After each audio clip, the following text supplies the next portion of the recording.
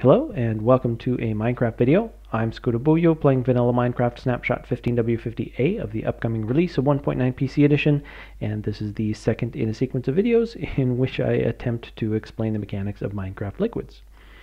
Uh, in this video I'll be talking about the block states of water and lava.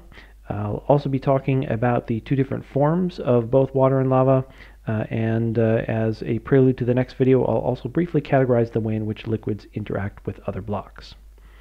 Uh, first, I'd like to thank everyone who let me know their preference for shorter or longer videos. Uh, it seems that the consensus is for shorter videos as long as they're not just like a, a, bullet point. So I'll do my best to keep them relatively short, yet filled with some varied content. Um, this one probably is going to end up being somewhere between 10 and 15 minutes. Um, the other one maybe slightly longer, but uh, I'll probably try. I'll try to keep the others a little bit shorter.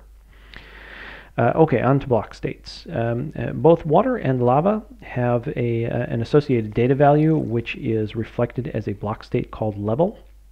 Uh, don't get too caught up with the semantics of the word level. It's really a bit of a misnomer.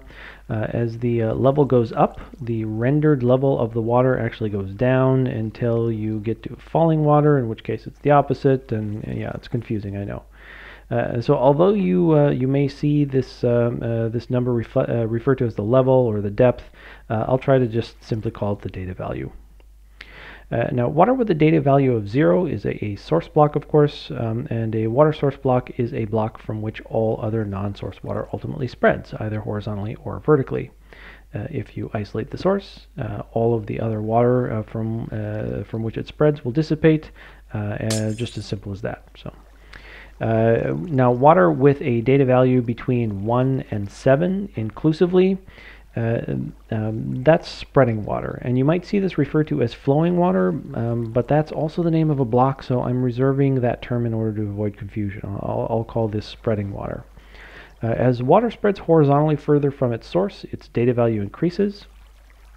Uh, and uh, the data value of a block of spreading water is always one more than the least data value of adjacent source water or spreading water uh, up to a maximum of 7. Uh, so uh, this water here has a data value of 5 uh, and that's because it's one more than the minimum of 4 and 6, the data values of its adjacent water. Uh, this means that water can spread uh, seven blocks, uh, um, uh, up to seven blocks from a source block, uh, and the rate at which it spreads is about one block every five game ticks. that is a function of a tile tick delay, which is something I'll talk about in a little bit. Uh, of course, that is in the overworld and the end only, um, uh, the, since there's no water in the nether. Uh, but in case you're wondering, in those rare cases when a glitch has allowed water in the nether, uh, the spread mechanics have been the same as in the overworld.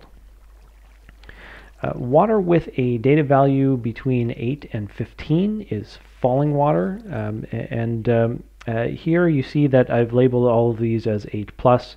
Uh, I'm not making a differentiation between these values because they're all treated identically by the game. Uh, just in case you're wondering, technically speaking, um, the data value of all this falling water is 15 because it's 8 more than the uh, water from which it falls.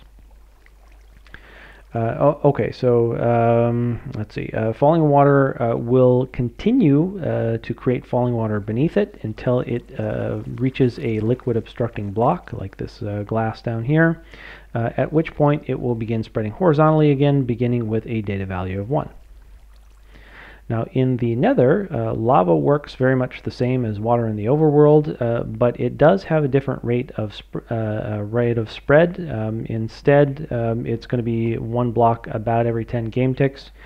Uh, now I don't have an exact number for this um, because I haven't um, I haven't worked out the tile tick delay exactly, but it's approximately one block every every 10 game ticks. Um, that's about three times the speed of lava in the overworld, uh, but about half the speed of water. Um, the other difference between uh, nether lava and overworld lava, of course, is the distance it can spread. Uh, in lava in the nether can spread the same distance, distance as water, uh, which is 8 blocks if you include the source block. Um, and, but lava in the overworld can spread only half the distance, uh, four blocks if you include the source block, uh, and that is because uh, lava in the overworld uh, only uses data values that are even numbers, so 0 to 4, 6, uh, and even all of the falling lava technically has uh, data values that are only even numbers. Now, uh, both water and lava actually have two different forms, uh, flowing and still.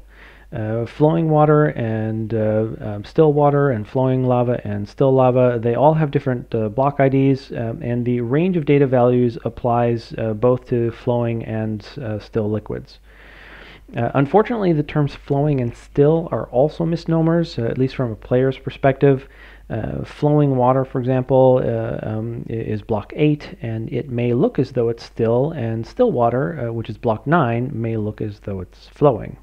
Now, I prefer to think of flowing water as updating water and still water as stable water, uh, but I'll stick with flowing water and still water as terms ju just as a matter of conformity. Uh, now, basically, uh, flowing water is water that is in an active state of being updated, regardless of whether it appears to be flowing. And you see this when you place a, uh, a water source block uh, on the ground with a bucket right? The, the water is uh, spreading, it's possibly combining with other water, um, uh, the, uh, the levels are changing, the orientation of the current is changing, and so on. Um, shortly thereafter, uh, however, the activity, uh, the activity settles down. Uh, there's no blocks of water that are changing. there's this flow that's being rendered, but the flow isn't being adjusted anymore. Um, the levels aren't changing. The water's not spreading anymore. Uh, at that point, all the water is still water, uh, e even though, of course, it, it, looks like it's flowing. Get rid of these here. Uh, okay, so um, the high-level algorithm, algorithm is basically this. Uh, when a block of still water uh, receives a block update, it converts from a block of still water to a block of, of flowing water. Let me uh, put down a block of still water here. Now, uh, still water is um, uh, uh, flow, well, flowing water in is has the name flowing underscore water. still water has the just the name water. and I set it right underneath myself. Let me try that again. Um, here we go. Yes, I, I know how to use tab completion. Okay, so uh, set a block of water. Um, that's now a block of still water, uh, and um, when I uh, when I give this a block update, uh, it is going to um, it is actually going to convert uh, to a block of flowing water. And, and, there are a number of different ways in which you can give this a block update. You uh, I'm going to place a block next to it. it can receive a, redstone signal. There can be a red you know powered block next to it. Um, but um, uh, it's going to convert then to flowing water.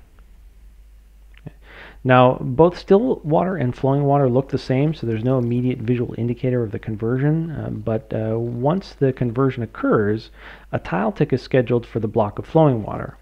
Uh, essentially, a tile tick is like a delayed block update, and many tile ticks are often a culprit of lag. that's why a large amount of shifting water can cause lag. If you've got lots of updating water, that will cause lots of tile ticks, and that will likely continue for many game ticks until all, all the flowing water either is converted to still water or dissipates. Uh, anyway, um, the uh, the initial delay on a tile tick that is scheduled for a block of flowing water is five game ticks, and, and incidentally, that's why water flows at a rate of one block per five game ticks. Uh, when the delay on the tile tick expires, uh, the block of flowing water is updated. Uh, that was this one uh, where I placed the block next to and um, uh, if possible, additional flowing water is going to spread. So uh, we had water spread in, in these uh, squares right here, uh, and um, and then the the algorithm is actually going to be applied recursively to these new blocks of flowing water. Uh, and that's one of the reasons why uh, why water can can cause so many tile ticks. You, know, you um, just a, a, single source block of water can actually cause hundreds or even more tile ticks. So. Uh, all right, um, in, in, addition to uh, spreading, uh, the properties of this uh, flowing water are going to need to be updated. Um, the, the level may change uh, or, um, uh, or the orientation of the flow of, the, of the rendered flow may change. and that's going to be in accordance with the properties of adjacent water blocks, including any adjacent water blocks that have just spread. Uh, if um, uh, if water blocks spread from uh, from the flowing water, or if its properties were updated, another tile tick is going to be scheduled for that, so it's going to be updated again in another five game ticks. Uh, if, on the other hand, no more water spreads from the block of flowing water, and if no properties are modified, uh, then the block of flowing water instead converts to a block of still water, and uh, the cycle of life is complete. This um, uh, now this is all going to happen relatively fast. Uh, it, it, happens much faster than than I can describe it. Um, but um, I think it's after just two or three um, tile tick delays that this block uh, goes from uh, still water when I place the block next to it uh, to flowing water and then back again to still water. So it, it happens in all in less than a second. It's pretty fast, uh, but again, it, it, does add up. If you've got lots and lots of shifting water, you are going to see some lag uh, because of all the tile ticks that are being generated from it. Uh, all right, the, um, the difference between uh, flowing water and still water is mostly technical detail, uh, though it does manifest in a couple of weird ways. Uh, we can guess that water or lava placed by a bucket is flowing since it spreads almost as soon as, it, uh, as, soon as it's placed. Um, and the same thing happens with uh, broken ice. When you break a block of ice, it's replaced by block 8, which is flowing water, and it will spread after that tile tick delay. Uh, but not with melted ice. Uh, melted ice is replaced by block 9, uh, and that is what is allow, uh, allows us to make crazy sculptures like this. Um, uh, the um, here I've, I've just made this outline with ice and made sure that it melted. Uh, and uh, as it melts, um, all of the um, uh, all of the blocks of ice get turned into block nine. That's still water, not flowing water. As a consequence, they're not going to be receiving those those tile ticks, and so they're not going to update until they receive a block update, you know, such as placing a block next to them. Uh, so as, as, long as I don't uh, do anything silly like placing a block next to this water, uh, it will stay in the shape. Uh, okay, uh, let's see. Uh, another manifestation of the um, uh, of the difference between flowing liquid and still liquid is the occasional glitch that you can find when a generated structure intersects a body of liquid. Uh, so single block springs of water and lava generate as flowing, uh, but bodies of water and lava generate as still. So uh, when a generated structure intersects a body of liquid, it doesn't cause block updates to the liquid, and the liquid then doesn't flow into the generated structure. So it, it seems like it's held back by some invisible force. All right, uh, speaking of holding back liquids, um, the, uh, the general rule is that a solid block will obstruct the spread of liquids. Um, in uh, subsequent videos, I'm going to be representing obstructing uh, liquid obstructing blocks with black stained glass.